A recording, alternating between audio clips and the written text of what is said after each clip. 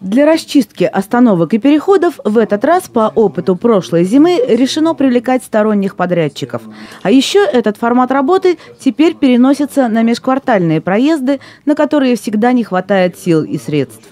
До 19 декабря 2014 года муниципальным, муниципальным предприятием коммунальных хозяйств будет проведена процедура по заключению контракта на механизированную уборку внутриквартальных, внутридворовых территорий, проездов жилых микрорайонов в зимний период, и площадь уборки составит на сегодняшний день по расчетам 42 780 метров квадратных.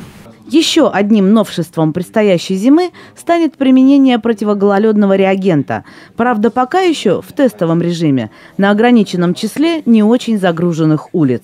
Такая осторожность вызвана тем, что сначала необходимо научиться работать с реагентом, правильно рассчитывать дозировку в зависимости от изменений погодных условий.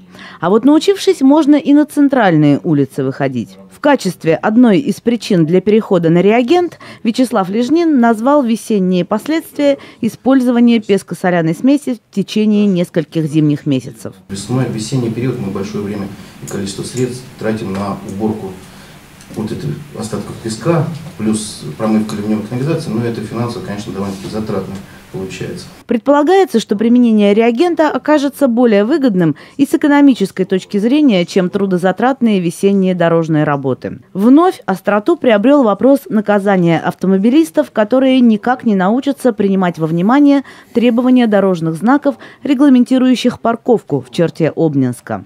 А тех, кто и не желает учиться, предполагается эвакуировать на штрафстоянку более интенсивно, чем это делается сейчас, чтобы не мешали убирать снег. На сегодняшний момент эвакуируется в среднем от 7 до там, 12 автомобилей в неделю.